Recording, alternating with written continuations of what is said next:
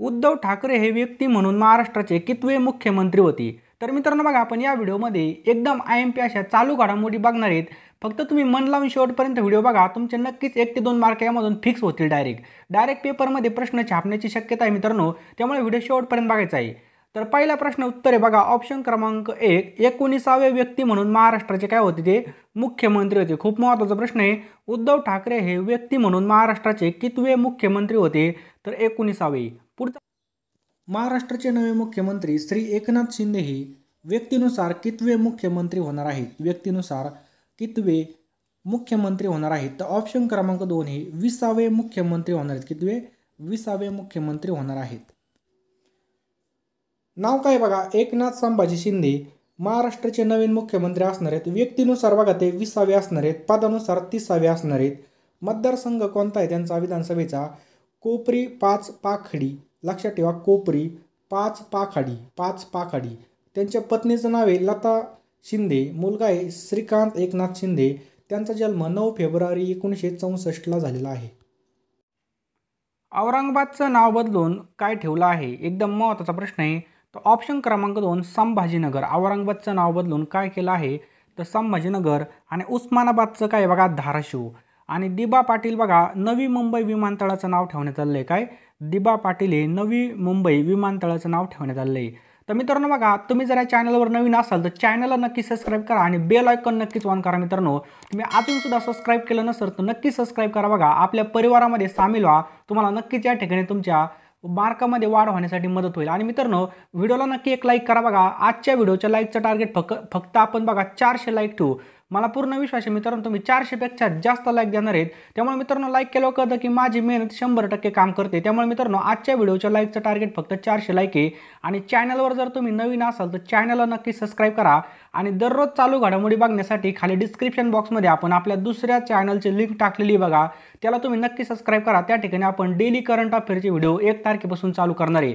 आणि P D एफसाठी खाली टेलिग्रामची लिंकसुद्धा तुम्ही जॉईन करू शकता. आजच्या व्हिडिओच्या लाईकचं टार्गेट फक्त बघा चारशे लाईक आहे. नक्की नक्कीच व्हिडिओला लाईक करा मित्रांनो. पुढचा प्रश्न खूप महत्त्वाचा आहे. डायरेक्ट पेपरमध्ये छापण्याची शक्यता आहे बघा. मुंबई पोलीस आयुक्त कोण आहेत? मुंबई पोलीस आयुक्त नुकतेच कोण नियुक्त झालेले आहेत? ऑप्शन क्रमांक दोन विवेक फणसाळकर. लक्षात ठेवा मुंबई पोलीस आयुक्त म्हणून त्यांची नियुक्ती झालेली. यांच्या अगोदर बघा मुंबई पोलीस आयुक्त कोण होते? संजय पांडे होते. परंतु त्यांचा कार्यकाळ बघा संपलेला आहे. समुद्र किनाऱ्याच्या सुरक्षेसाठी बीच व्हिजल नावाचं मोबाईल ॲप्लिकेशन खालीलपैकी कोणत्या राज्य सरकारने लॉन्च केलेलं आहे? तर ऑप्शन क्रमांक चार गोवा राज्य सरकारने बघा हे लॉन्च केलेलं आहे. या ठिकाणी बघा गोव्याचे मुख्यमंत्री प्रमोद सावंत यांनी एक बीच व्हिजल नावाचं ॲप लॉन्च केलेलं आहे. हे ॲप बघा माहिती तंत्रज्ञान क्षेत्र आणि पर्यटन क्षेत्र यांच्यातील सहयोगाने तयार करण्यात आलेलं आहे. पर्यटकांना आणि समुद्रकिनारी पर्यटन क्षेत्रात काम करणाऱ्या संस्थांना सर्वांगीण व्यवस्थापनामध्ये फायदा मिळवून देणं या ॲपचं मुख्य उद्दिष्ट आहे. या ठिकाणी गोवा आलेला आहे बघा. गोवा या ठिकाणी बघा एकोणीस डिसेंबर एकोणीसशे एकसष्टला गोवा हा पोर्तुगीजापासून स्वतंत्र. त्यामुळं त्या दिवशी बघा गोवा मुक्ती दिन साजरा केला जातो. गोव्याची निर्मिती बघा तीस मे एकोणीसशे सत्त्याऐंशीला झालेली. हे पण लक्षात ठेवा. गोव्याची राजधानी कोणती बघा? पणजी ही गोव्याची राजधानी. राज्यपाल कोण आहे बघा? पी एस श्रीधन पिल्लई हे काय आहेत बघा? राज्यपाल आहेत. मुख्यमंत्री आत्ताच बघितले. आपण कोण आहेत? प्रमोद सावंत. विधानसभेत त्या ठिकाणी बघा चाळीस सदस्य आहेत. लोकसभेचे दोन सदस्य आहेत. राज्यसभाचा एकच आहे बघा. क्षेत्रफळाच्या दृष्टीने सर्वात छोटं आणि लोकसंख्येच्या दृष्टीने चौथं सर्वात छोटं राज्य आहे. पहिलं कोणतं आहे बघा? सिक्कीम आहे. कशाच्या दृष्टीने? लोकसंख्येच्या दृष्टीने सिक्कीम मिझोराम अरुणाचल प्रदेश. या ठिकाणी बघू शकता आणि सगळ्यात चौथं हे छोटं राज्य आहे लोकसंख्येच्या दृष्टीने. या ठिकाणी प्रमुख नदी कोणती बघा? मंडोबी ही प्रमुख नदी आहे. कोणती? मंडोबी आणि जुवारी ह्या प्रमुख नद्या आहेत. प्रमुख लोकनृत्य या ठिकाणी मांडी झागोर टकनी आणि खोले प्रमुख या ठिकाणी लोकनृत्य आहेत. देशात पहिलं रेबीजमुक्त राज्यसुद्धा कोणतं आहे? गोवा राज्य आहे. पुढचा प्रश्न काय बघा? उत्तर भारतातील पहिलं बांबूगाव कोणत्या राज्यामध्ये उभारण्यात येत आहे? उत्तर भारतामधलं पहिलं बांबूगाव हे कोणत्या राज्यामध्ये उभारण्यात येत आहे? त्याचा राईट आन्सर आहे बघा हिमाचल प्रदेशमध्ये पहिलं बांबूगाव हे उभारण्यात येत आहे. लक्षात ठेवा या ठिकाणी आपला विषय चालू आहे बघा हिमाचल प्रदेशचा. हिमाचल प्रदेशची निर्मिती पंचवीस जानेवारी एकोणीसशे एकाहत्तर झालेली आहे. राजधानी कोणती बघा? शिमला आहे. राज्यपाल आहेत बघा बंडारू दत्तात्रय. मुख्यमंत्री बघा जयराम ठाकूर. विधानसभेचे या ठिकाणी अडुसष्ट सदस्य आहेत. लोकसभेचे किती बघा? या ठिकाणी चार सदस्य आहेत. राज्यसभेचे तीन सदस्य आहेत. याची सीमा बघा जम्मू काश्मीर लडाख पंजाब हरियाणा उत्तर प्रदेशला टच होते. प्रमुख नद्या सुद्धा खूप महत्त्वाच्या आहेत. चिनाबे रावी हे बियासे सतलज यमुना आहे या ठिकाणी प्रमुख भाषा हिंदी आणि पहाडी बोलली जाते. अटल बोगदा जगातील सर्वात मोठा महामार्गाचा बोगदा आहे. याची लांबी बघा नऊ पॉईंट दोन किलोमीटर लांबी पुढचा प्रश्न अत्यंत आणि अत्यंत महत्त्वाचा आहे बघा. खालीलपैकी कोणाची नुकतेच आंतरराष्ट्रीय नाणेनिधीच्या आशिया आणि पॅसिफिक विभागाच्या संचालकपदी नियुक्ती करण्यात आलेली आहे. राईट आन्सर बघायचं ऑप्शन क्रमांक एक कृष्णा श्रीवासन. कृष्णा श्रीनिवासन यांची नियुक्ती करण्यात आलेली आहे बघा. आय एम एफ म्हणजे काय? इंटरनॅशनल मॉनिटरी फंड या ठिकाणी बघा आय एम एफ म्हणजे इंटरनॅशनल मॉनिटरी फंड यालाच आपण काय म्हणतो बघा? आंतरराष्ट्रीय नाणेनिधी. याची स्थापना एक मार्काला विचारली जाते बघा याची स्थापना आहे सत्तावीस डिसेंबर एकोणीसशे पंचेचाळीसला. याची स्थापना झालेली लक्षात ठेवा सत्तावीस डिसेंबर एकोणीसशे पंचेचाळीसला. हेडक्वार्टर लक्षात ठेवा. वॉशिंग्टन डी सीमध्ये याचं हेडक्वार्टर आहे. आणि जे काही याचे एम डी आहेत त्यांचं नाव आहे बघा क्रिस्टालिना जॉर्जिला. लक्षात ठेवा क्रिस्टालिना जॉर्जिवा.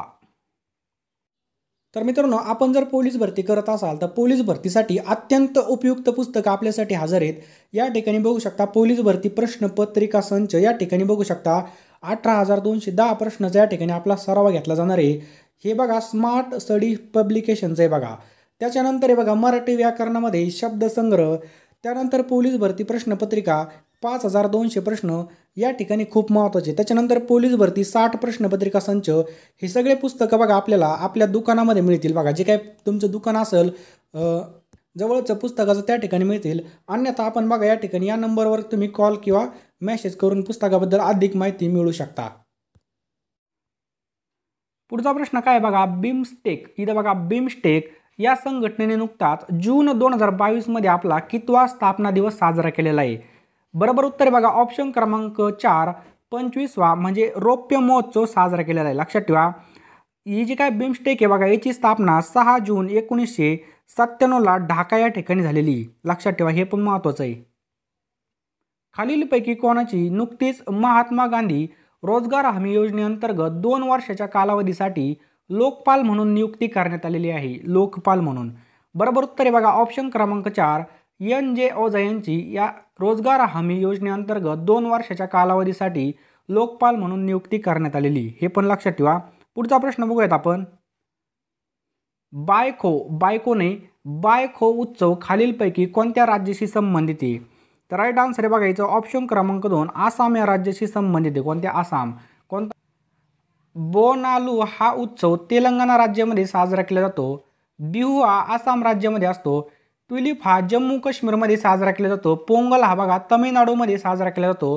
हॉर्नबिल हा नागालँड राज्यामध्ये वांगला बघा मेघालय नागालँड आणि आसाम राज्यामध्ये चेरी ब्लास्मन मेघालयमध्ये साजरा केला जातो. त्यानंतरचा आहे बघा अ हर्बल. बघा या ठिकाणी अहर्बल हा जम्मू आणि काश्मीरमध्ये साजरा केला जातो. लोसार हा लडाख आणि तिबेटमध्ये साजरा केला जातो. लुसुंग हा सिक्कीम राज्यामध्ये असतो बघा. कांसोत जम्मू आणि काश्मीरमध्ये साजरा केला जातो. हेरत हा जम्मू आणि काश्मीरमध्येच आणि शिरुई लिली हा मणिपूरमध्ये साजरा केला जातो. हे सगळे उत्सव बघा खूप महत्त्वाचे आहेत. सगळे एक ठिकाणी लिहून घ्या. पुढचा प्रश्न आहे बघा. F I D E chess olympiad इथं बघा. F I D E chess olympiad दोन हजार बावीस ही गैर स्पर्धा आहे. ही कोणत्या देशामध्ये आयोजित करण्यात येणार आहे? तर हे आपल्या भारतामध्येच आयोजित करण्यात येणार आहे. मित्रांनो या व्हिडिओच्या पी डी एफसाठी तुम्ही आपला भाव म्हणून मला बिंदास पी डी एफ मागू शकता. आपला नंबर आहे ब्याऐंशी पंच्याहत्तर पंचावन्न ब्याऐंशी त्र्याऐंशी. हा काय आपला व्हॉट्सअप नंबर आहे? यावर तुम्ही नक्की आपल्याला व्हॉट्सअप करा. कॉल करू नका. कॉल कोणाचा रिसिव्ह केला जाणार केला जाणार नाही. हा आपला नंबर आहे ब्याऐंशी पंच्याहत्तर पंचावन्न ब्याऐंशी त्र्याऐंशी. तुम्हाला एका व्हॉट्सअप ग्रुपला ॲड केलं जाईल. त्या ठिकाणी आपण नवीन नोकरी नवीन जी आर सगळं काही टाकत असतो. बिंदास तुम्ही याच्यावर आपल्याला व्हॉट्सअपला मेसेज करू शकता. नेक्स्ट क्वेश्चन काय बघा? खालीलपैकी कोणतं राज्य ड्रोनच्या सार्वजनिक व्यापाराला अधिकृतपणे मान्यते देणारं भारतामधलं पहिलं राज्य बनलेलं आहे? एकदम आय एम पी प्रश्न हे डायरेक्ट पेपरमध्ये छापू शकतो. राईट आन्सर आहे बघा ऑप्शन क्रमांक चार हिमाचल प्रदेश. कोणतं राज्य बघा? हिमाचल प्रदेश राज्य ड्रोनच्या सार्वजनिक वापराला अधिकृतपणे मान्यता देणारं भारतातील पहिलं राज्य बनलेलं आहे. लक्षात ठेवा हिमाचल प्रदेश. आणि एल पी जी कनेक्शन पूर्णपणे असणारं हिमाचल प्रदेश हे सुद्धा भारतातील पहिलं राज्य आहे बघा. नेक्स्ट क्वेश्चन आहे पहा. फिच रेटिंग्सने भारताचा जो काही दोन हजार बावीस तेवीस या आर्थिक वर्षामध्ये जो काही विकास दर आहे हा किती राहण्याचा अंदाज व्यक्त केलेला आहे? हा किती राहण्याचा अंदाज व्यक्त केलेला आहे? तर ऑप्शन क्रमांक तीन सात पॉईंट आठ टक्के. लक्षात ठेवा सात पॉईंट आठ टक्के राहण्याचा अंदाज व्यक्त केलेला आहे. पुढचा प्रश्न काय बघा? चो सोन हुई यांची नुकतीच खालीलपैकी कोणत्या देशाच्या पहिल्या महिला परराष्ट्र मंत्री म्हणून नियुक्ती करण्यात आली आहे? परराष्ट्रमंत्री म्हणून नियुक्ती करण्यात आली तर उत्तर कोरिया लक्षात ठेवा चो सोन हुई. कोण? चो सोन हुई. यांची बघा कोणत्या देशाच्या पहिल्या महिला परराष्ट्र म्हणून नियुक्ती करण्यात आली तर उत्तर कोरिया. ऑप्शन क्रमांक एक उत्तर कोरिया. खालीलपैकी कोणत्या भारतीय बुद्धिबळपटूने नुकतेच नॉर्वे बुद्धिबळ स्पर्धा जिंकलेली आहे? एकदम महत्त्वाचा प्रश्न आहे. तर ऑप्शन क्रमांक एक आर. प्रज्ञानंद. लक्षात ठेवा आर. प्रज्ञानंद याने काय केलेलं आहे? भारतीय बुद्धिबळपटू ह्या याने नॉर्वे बुद्धिबळ स्पर्धा जिंकलेली आहे. खालीलपैकी कोणत्या देशाने चंद्राचा आत्तापर्यंतचा सर्वात विस्तृत भूगर्भीय नकाशा प्रसिद्ध केलेला आहे? जे काय बारीक डोळ्याचे चायनीज आहेत बघा त्यांनी हा शोध लावलेला आहे की चंद्राचा बघा आत्तापर्यंतचा सर्वात विस्तृत भूगर्भीय नकाशा काय केलेला प्रसिद्ध केलेला आहे. पुढचा प्रश्न काय बघा? इंस्टाग्रामवरती बघा दोनशे मिलियन फॉलोअर्स असणारा पहिला भारतीय व्यक्ती म्हणून खालीलपैकी कोणाचा उल्लेख करता येईल? दोनशे मिलियन फॉलोअर बघा दोनशे मिलियन फॉलोअर असणारा कोण आहे? तो भारतीय क्रिकेटर आहे बघा. ऑप्शन क्रमांक चार विराट कोहली. ऑप्शन क्रमांक चार विराट कोहली. य H S H S N C या विद्यापीठाने खालीलपैकी कोणाला नुकतेच मानद दिलीट पदवीने सन्मानित केलं आहे? बरोबर उत्तर आहे बघा. ऑप्शन क्रमांक चार रतन टाटा यांना या पदवीने काय केलेलं आहे? सन्मानित केलेलं आहे. ही जे काय युनिव्हर्सिटी ही मुंबईमध्ये बघा. या विद्यापीठाने काय केलेलं आहे? रतन टाटा यांना डिलीट या पदवीने सम सन्मानित केलेलं आहे.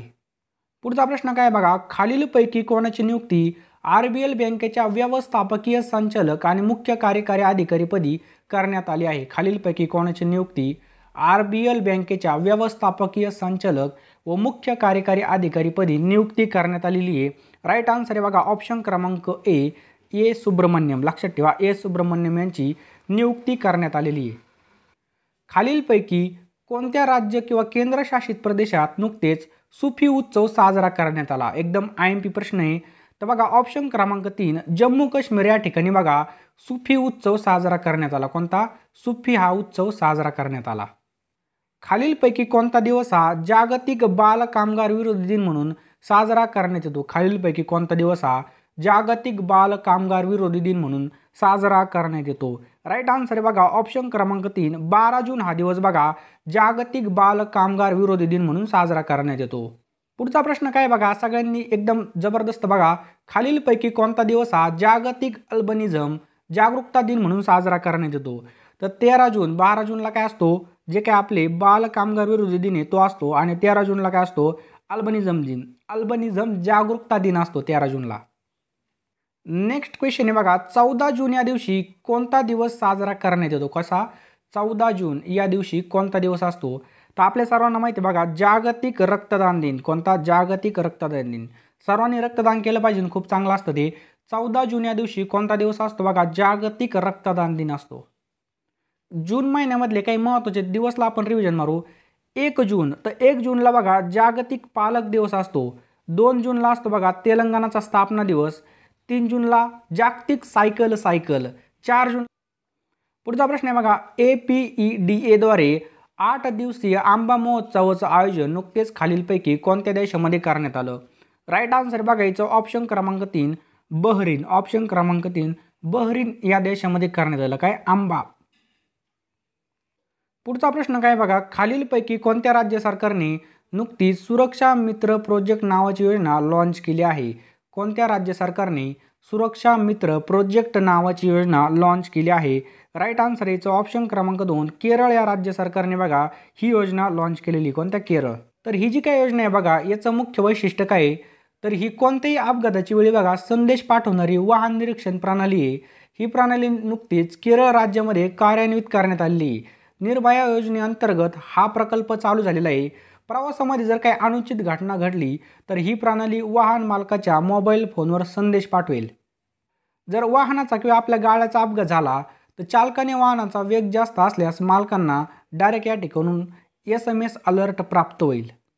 पुढचा प्रश्न काय बघा? बाल हक्क संरक्षण राष्ट्रीय आयोग N C P C R N C P C R खालीलपैकी कोणता कालावधी बाल कामगार निर्मूलन साप्ताहिक म्हणून साजरा करत आहे? काय? बाल कामगार निर्मूलन सप्ताह म्हणून साजरा करत आहे.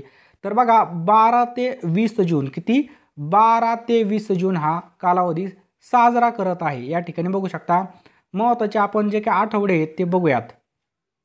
तर पहिले बघा जागतिक प्रतिजैविक जागरूकता आठवडा हा अठरा ते चोवीस नोव्हेंबर दरम्यान असतो. राष्ट्रीय नवजात आठवडा राष्ट्रीय नवजात आठवडा पंधरा ते एकवीस नोव्हेंबरपर्यंत जागतिक लसीकरण आठवडा चोवीस ते तीस एप्रिलमध्ये असतो. जागतिक गुंतवणूक आठवडा चार ते दहा ऑक्टोबर. जागतिक अंतराळ आठवडा चार ते दहा ऑक्टोबरमध्येच असतो. भारतात वन्यजीव आठवडा दोन ते आठ ऑक्टोबर. किती? दोन ते आठ ऑक्टोबर. त्यानंतर बघा राष्ट्रीय विज्ञान आठवडा बावीस ते अठ्ठावीस फेब्रुवारी. राष्ट्रीय संस्कृत आठवडा एकोणीस ते पंचवीस ऑगस्ट. त्याच्यानंतर बघा राष्ट्रीय पोषण आठवडा एक ते सात सप्टेंबर अंधत्व निवारण आठवडा सात एप्रिल एक ते सात एप्रिल बघा एक ते सात एप्रिल दरम्यान. खालीलपैकी कोणता दिवस हा जागतिक वडीलधाऱ्यांशी गैरवर्तन जागरूकता दिन म्हणून साजरा करण्यात येतो? गैरवर्तन जागरूकता दिन म्हणून साजरा करण्यात येतो. तर बघा आपल्यासाठी जागरूकता म्हणजे काय? जे काय आपले आई वडील असतील वडीलधारी माणसे असतील किंवा म्हातारे माणूस असेल त्यांचा जर आपण आदर करीत नसेल तर आपल्या शिक्षणाचा काय उपयोग नाही. त्यासाठी बघा एक सेपरेट दिवससुद्धा साजरा केला जातो. पंधरा जून लक्षात ठेवा पंधरा जूनला हा सगळ्यांचा आदर केला जातो. म्हणजे पंधरा जूनला नाही तर आपण मरूपर्यंत मोठ्यांचा आदर केला पाहिजे. पुढचा प्रश्न खूप महत्त्वाचा आहे बघा. पृथ्वी दोन ह्या लघु पल्ल्याच्या बॅलिस्टिक क्षेपणास्त्राची पंधरा जून दोन हजार बावीस रोजी ओडिसातील चांदीपूर एकात्मिक प्रक्षेपण चाचणी केंद्रामधून यशस्वी चाचणी करण्यात आली. तर पृथ्वी दोन च्या अनुषंगाने खालीलपैकी योग्य विधान आपल्याला निवडायचं आहे बघा. हे क्षेपणास्त्र जमिनीवरून जमिनीवर मारा करणारं क्षेपणास्त्र आहे. हे पहिलं विधान आहे. दुसरं विधान बघा हे एक स्वदेशी बनावटीचं आण्विकदृष्ट्या सक्षम असं क्षेपणास्त्र हे दुसरं विधान आहे. या मिसाईलची मारक क्षमता तीनशे पन्नास किलोमीटर इतकी बघा. तीनशे पन्नास किलोमीटर इतकं ते त्याची काय मारक क्षमता आहे. म्हणजे हे जे काही तिन्ही विधान आहेत बघा हे तिन्ही विधानं कसे आहेत? बरोबर आहे. हे क्षेपणास्त्र जमिनीहून जमिनीवर मारा करणार आहे बघा. हे आपल्या स्वदेशी बनावटीचं आण्विकदृष्ट्या सक्षम असं क्षेपणास्त्र आहे आणि याची जी काही मारक क्षमता आहे ही साडेतीनशे किलोमीटर इतकी किती? साडेतीनशे. तर हे जे काय पृथ्वी दोन हे लघु पल्ल्याचं बॅलिस्टिक क्षेपणास्त्र आहे याची जी काही चाचणी पंधरा जून दोन हजार बावीस रोजी चांदीपूर एकात्मिक प्रक्षेपण चाचणी केंद्रातून यशस्वी चाचणी झालेली बघा. हे क्षेपणास्त्र एक सिद्ध झालेली प्रणाली आणि या लक्ष्यावर अचूक मारा करण्यासाठी सक्षम आहे. जे काही टार्गेट असेल जे काय उद्ध्वस्त करायचं असेल त्या ठिकाणी एकदम अचूक मारा करणारं एक क्षेपणास्त्र आहे पृथ्वी दोन. याची मारक क्षमता लक्षात ठेवा. किती आहे? तीनशे पन्नास किलोमीटर आहे बघा. किती? तीनशे पन्नास किलोमीटर. भारतातील पहिलेच काय प्रश्न आहे? भारतातील पहिलेच centralise A C railway terminal खालीलपैकी कोणत्या राज्यामध्ये कार्यान्वित करण्यात आला आहे? कोणत्या राज्यामध्ये कार्यान्वित करण्यात आलेलं आहे? तर ऑप्शन क्रमांक एक कर्नाटक राज्यामध्ये हे कार्यान्वित करण्यात आलेलं आहे. कुठं? तर मित्रांनो कर्नाटक राज्याचे जे काही राज्यपाल आहेत त्यांचं नाव आहे बघा थावरचंद्र गहलोत. मुख्यमंत्री बघा बसवराज बोंबई. विधानसभेचे बघा या ठिकाणी दोनशे पंचवीस सदस्य आहेत. विधान परिषदेचे पंच्याहत्तर सदस्य आहेत. लोकसभेचे बघा या ठिकाणी अठ्ठावीस सदस्य आहेत. कर्नाटकमध्ये राज्यफूल कोणतं आहे? कमळ बघा राज्यफूल कमळे राज्यपक्षी आहे नीलकंठ राज्य प्राणी बघा हत्ती राज्यवृक्ष आहे बघा चंदन प्रमुख नृत्य या ठिकाणी भरतनाट्यम आहे बघा. याची सीमा अरबी समुद्र गोवा महाराष्ट्र आंध्र प्रदेश तमिळनाडू आणि केरळ राज्याला टच होते. या ठिकाणी प्रमुख नद्याचा विचार केला कावेरी तुंगभद्रा कृष्णा मलयप्रभा शरावती या काय बघा या ठिकाणी प्रमुख नद्या आहेत. पुढचा प्रश्न आहे बघा खालीलपैकी कोणता देश हा नुकताच भांगची शेती करण्यास आणि विक्री करण्यास कायदेशीर मान्यता देणारा आशियातील पहिला देश बनलेला आहे. आपल्या आशियामधील पहिला देश बनला आहे. एकदम आय एम पी प्रश्न आहे बघा. राईट आन्सर याचं ऑप्शन्स क्रमांक चार. कोणत्या बघा? थायलंड हा देश बनलेला आहे. ऑप्शन क्रमांक चार. थायलंड हा देश बघा भांगची शेती करण्यासाठी आणि विक्री करण्यासाठी कायदेशीर मान्यता देणारा आशियातील पहिला देश बनला आहे. टोकियो ऑलिम्पिक सुवर्णपदक विजेता भालाफेकपटू नीरज चोप्राने बघा फिनलँडमधील पावनुर्मी गेम स्पर्धेमध्ये टिंब मीटर जे काय फेक करून नवीन राष्ट्रीय विक्रम प्रस्थापित केलेला आहे गोळा फेकून नवीन राष्ट्रीय विक्रम प्रस्थापित केलेला आहे. तर ऑप्शन क्रमांक एक एकोणनव्वद पॉईंट तीस मीटर इतका गोळा फेकलेला आहे. नीरज चोपडाला बघा दोन हजार अठरामध्ये अर्जुन पुरस्कार मिळालेला आहे. दोन हजार एकवीसमध्ये या ठिकाणी राजीव गांधी खेलरत्न आणि दोन हजार बावीसमध्ये पद्मश्री पुरस्काराने सन्मानित करण्यात आलेलं आहे. टोकियो अमेरिकेचे राष्ट्राध्यक्ष जो बायडन यांनी नुकतेच भारतीय वंशाच्या कोणत्या व्यक्तीची त्यांच्या विज्ञान सल्लागारपदी नियुक्ती केली आहे? राईट आन्सर याचं ऑप्शन क्रमांक एक आरती प्रभाकर. लक्षात ठेवा आरती प्रभाकर यांची नियुक्ती करण्यात आली. या ठिकाणी बघा भारतीय वंशाच्या अनिता आनंद यांची नुकतीच खालीलपैकी कोणत्या देशाच्या संरक्षण मंत्रीपदी नियुक्ती झाली? तर कॅनडा.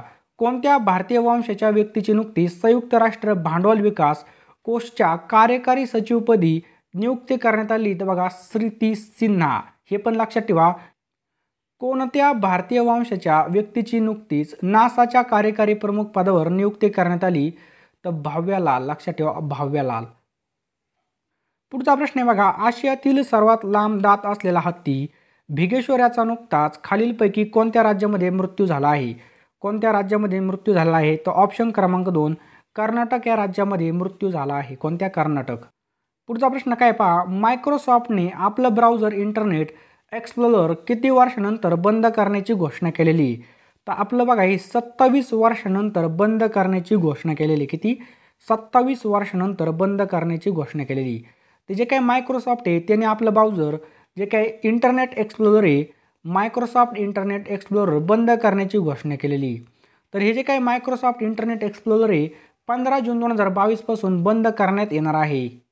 तर हे जे तर मित्रांनो सध्या याचा वापर खूपच कमी म्हणजे पाच टक्के केला जात होता. दोन हजार तीनपर्यंत मायक्रोसॉफ्टचं हे जे काही वेब ब्राउझर आहे टॉपवर होतं बघा. दोन हजार तीनपर्यंत काय होतं? टॉपवर होतं. नुकत्याच प्रसिद्ध झालेल्या ग्लोबल स्टार्टअप इकोसिस्टम रँकिंग दोन हजार बावीसमध्ये आशियातील पहिलं राज्य कोणतं ठरलेलं आहे? राईट आन्सर याचं ऑप्शन क्रमांक तीन केरळ राज्य हे बघा. पहिलं राज्य ठरलेलं आहे कोणतं? केरळ राज्य. भारताचा फुटबॉलपटू सुनील छेत्री नुकताच सर्वाधिक गोल करणाऱ्या जगातील कितवा खेळाडू बनलेला आहे?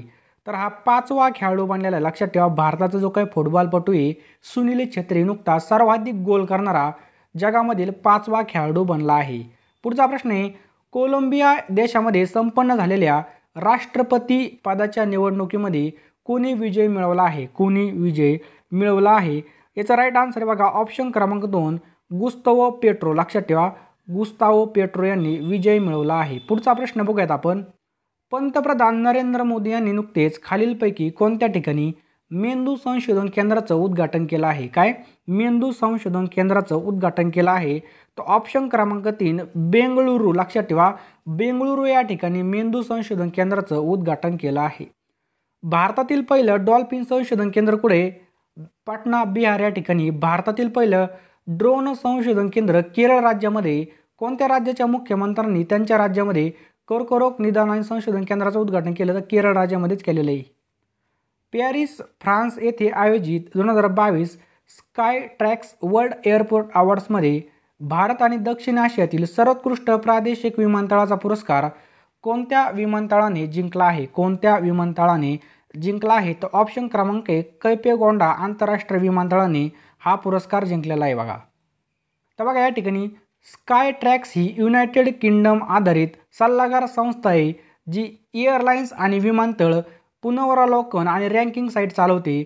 याच स्काय ट्रॅक्सकडून Skytrax world airport awards हे जे काही वार्षिक पुरस्कार ते दिले जातात बघा. हे अवॉर्ड्स जागतिक विमानतळ ग्राहक समाधान सर्वेक्षणावर आधारित आहेत जे पाचशे विमानतळावर ग्राहक सेवा आणि सुविधांचं मूल्यांकन करून दिले जातात बघा. बेंगलोरच्या कैपेगोडा आंतरराष्ट्रीय विमानतळाने पॅरिस फ्रान्स या ठिकाणी आयोजित दोन हजार बावीस स्कायट्रॅक्स वर्ल्ड एअरपोर्ट अवॉर्डमध्ये भारत आणि दक्षिण आशियातील सर्वोत्कृष्ट प्रादेशिक विमानतळाचा पुरस्कार जिंकलेला आहे. लक्षात ठेवा बेंगळूरचं जे काही कैपेगोडा आंतरराष्ट्रीय विमानतळ आहे त्याने जिंकलेलं आहे. एकदम आय एम पी क्वेश्चन आहे. तर बघा आपण थोडं विमानाविषयी माहिती बघू. सर्वप्रथम बघा डॉक्टर बाबासाहेब आंबेडकर आंतरराष्ट्रीय विमानतळ कुठे नागपूरमध्ये. सर्वांना माहिती आहे. राफेल विमान निर्माण करणाऱ्या कंपनीचं नाव विचारलं तर बघा डेसाल्ट ॲव्हिएशन लक्षात ठेवा. त्याच्यानंतर हे भारत सरकारने कोणत्या वर्षापर्यंत देशामध्ये दोनशे वीस नवीन विमानतळ तयार करण्याचं ठरवलेलं आहे जे काही लक्ष आहे ते दोन हजार पंचवीसपर्यंत आहे बघा. त्याच्यानंतर बघा पाच आंतरराष्ट्रीय विमानतळ असणारं भारतातील एकमेव राज्य कोणतं आहे? तर उत्तर प्रदेश आहे. त्यालाच आपण काय म्हणतो यू पी आहे बघा. भारतातील पहिली सागरी विमानसेवा गुजरात राज्याने चालू केलेली. विमानतळावरती हायब्रिड वीज निर्मिती करणारं भारतातील पहिलं विमानतळ कोणतं आहे तर लक्षात ठेवा छत्रपती शिवाजी महाराज आंतरराष्ट्रीय विमानतळ. लक्षात ठेवा छत्रपती शिवाजी महाराज आंतरराष्ट्रीय विमानतळ. पुढचा प्रश्न आहे बघा बी एस पाटील यांनी नुकतेच खालीलपैकी कोणत्या राज्याचे लोक आयुक्त म्हणून शपथ घेतलेली आहे? राईट आन्सर आहे ऑप्शन क्रमांक तीन कर्नाटक राज्याचे लोक आयुक्त म्हणून बी एस पाटील यांनी नुकतीच शपथ घेतलेली बघा कर्नाटक राज्याची. पुढचा प्रश्न खूप महत्त्वाचा आहे. खालीलपैकी कोणतं विमानतळ नुकतंच जल आणि सौर ऊर्जा प्रकारच्या हरित ऊर्जेच्या मिश्रणावर संपूर्णपणे धावणारं भारतातील पहिलं विमानतळ बनलेलं आहे. संपूर्णपणे धावणारं भारतातील पहिलं विमानतळ बनलेलं आहे. तर राईट आन्सर आहे ऑप्शन क्रमांक तीन इंदिरा गांधी इंटरनॅशनल विमानतळ. लक्षात ठेवा इंदिरा गांधी इंटरनॅशनल विमानतळ. तर बघा दिल्लीमधलं इंदिरा गांधी इंटरनॅशनल विमानतळ एक जूनपासून जल आणि सौर ऊर्जेकडे वळालेलं आहे. यामुळे या प्रकारच्या हरित ऊर्जेच्या मिश्रणावर संपूर्णपणे धावणारं भारतातील पहिलं विमानतळ हे बनलेलं आहे बघा. एक जूनपासून विमानतळाची सुमारे सहा टक्के विजेची गरज ऑन साईट सौर ऊर्जा प्रकल्पामधून भागवली जाते. आणि उर्वरित भागात चौऱ्याण्णव टक्के ऊर्जा ही जलविद्युत प्रकल्पामधून त्या ठिकाणी येत आहे.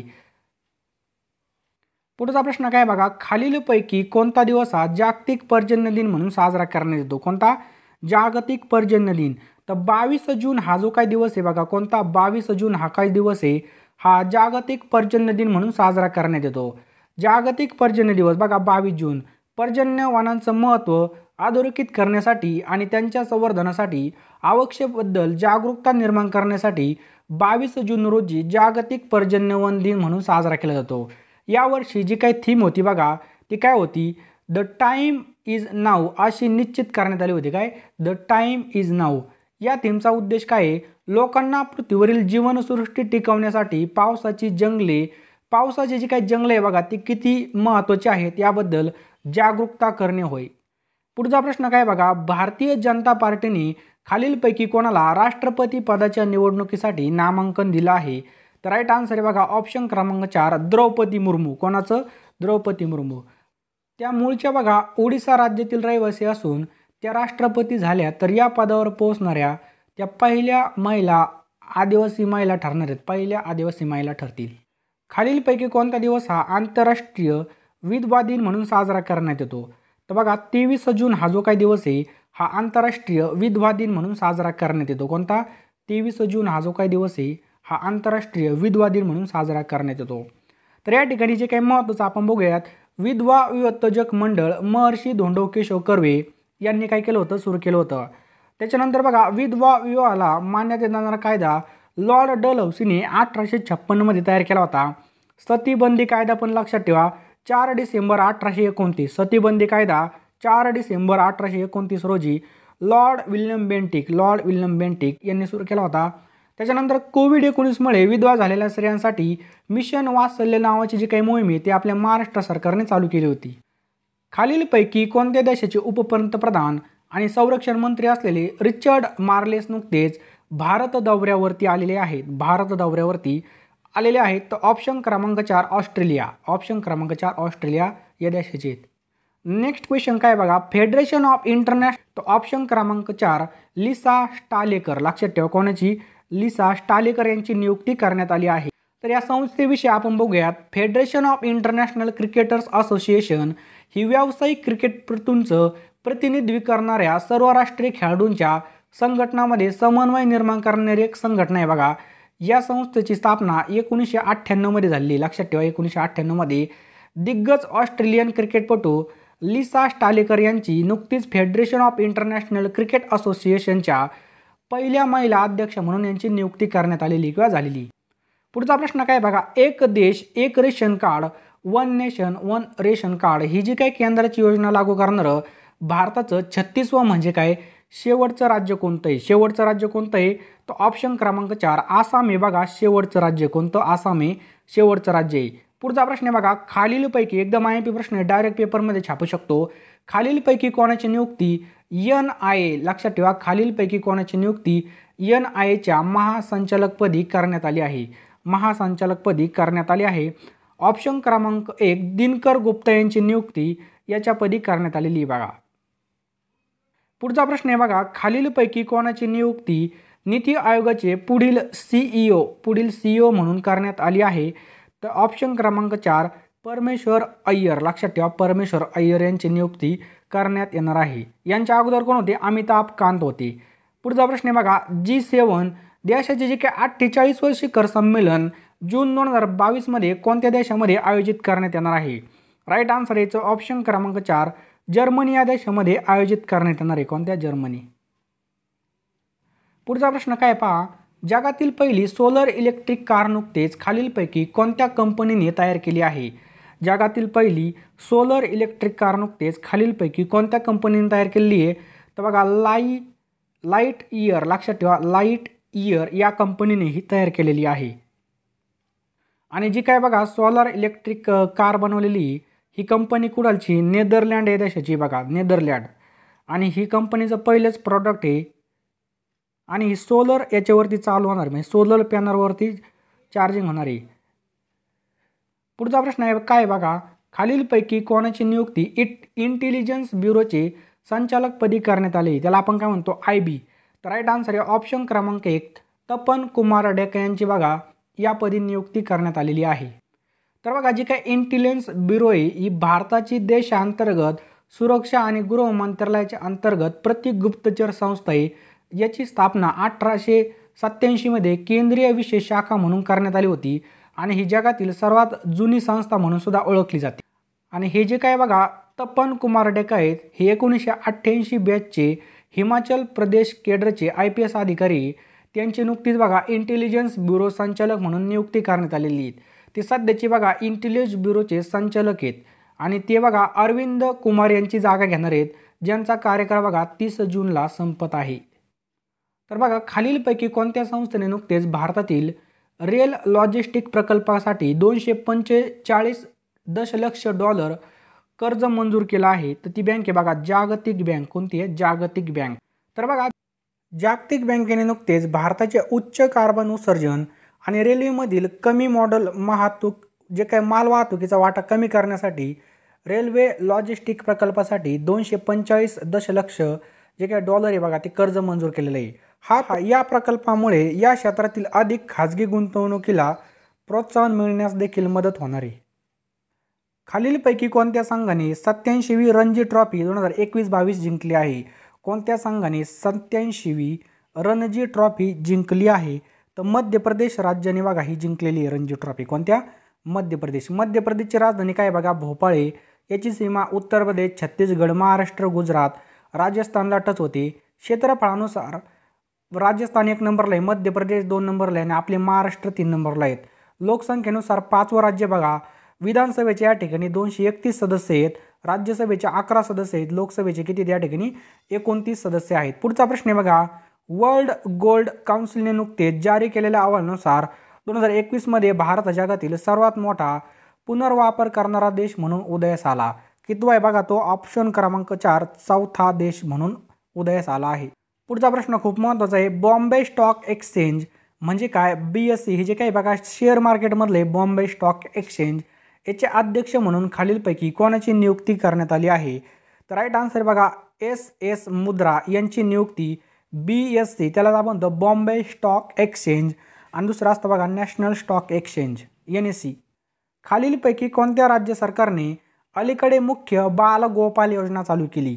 तर ही बघा राजस्थान राज्य सरकारने मुख्यमंत्री बाल गोपाल योजना चालू केलेली कोणी? राजस्थान राज्य सरकारने. राजस्थान राज्य सरकारने नुकतीच राज्यामध्ये मुख्यमंत्री बाल गोपाल योजना चालू केलेली. या योजनेअंतर्गत राज्यामध्ये इयत्ता पहिली ते आठवीपर्यंतच्या मुलांना आठवड्यातून दोन दिवस काय केलं केलं जाणार आहे? दूध दिलं जाणार आहे काय? दूध. आणि या योजनेअंतर्गत सरकारी शाळामध्ये शिकणाऱ्या सुमारे एकोणसत्तर लाख एकवीस हजार मुलांना आठवड्यामधून मंगळवारी आणि शुक्रवारी दोन दिवस पावडर दूध दिलं जाणार आहे. पहिली ते पाचवीच्या मुलांना बघा दीडशे मिली म्हणजे एकशे पन्नास मिली आणि सहावी ते आठवीच्या मुलांना दोन हजार मिली दूध वाटप केलं जाईल. दूध. या योजनेची घोषणा बघा राज्याच्या दोन हजार बावीस तेवीस या आर्थिक वर्षाच्या अर्थसंकल्पामध्ये करण्यात आली होती. या योजनेच्या अंमलबजावणीमुळे पहिली ते आठवीमधील मुलांची जी काही पोषण पातळी ती सुधरेल आणि सरकारी शाळांमधील जे काही मुलं आहेत ते सुद्धा वाढतील. तर राजस्थान राज्याची निर्मिती एक नोव्हेंबर एकोणीसशे छप्पनला झालेली राजधानी कोणती? जयपूर हे राज्यपाल आहेत बघा कलराज मिश्रा मुख्यमंत्री अशोक गेहलोत. विधानसभेचे या ठिकाणी दोनशे सदस्य आहेत. किती? दोनशे सदस्य आहेत. लोकसभेचे बघा या ठिकाणी पंचवीस सदस्य आहेत. राज्य प्राणी बघा उंट. त्याचबरोबर राज्य फुल या ठिकाणी रोहिदाई प्रमुख नृत्य प्रकारचा विचार केला तर या ठिकाणी प्रमुख नृत्य प्रकार घुमर. कोणता आहे बघा? घुमर. राज्यसभेचे या ठिकाणी किती? दहा सदस्य आहेत. त्याचबरोबर क्षेत्रफळानुसार पहिला क्रमांक राजस्थानचा आहे. लोकसंख्येनुसार आठव्या क्रमांकाचं राज्य आहे. याची सीमा पंजाब हरियाणा उत्तर प्रदेश मध्य प्रदेश गुजरातला टच होते. पंचायत राज स्वीकारणारं देशातील पहिलं राज्य म्हणून सुद्धा राजस्थान राज्य आहे. लक्षात ठेवा राजस्थान राज्य.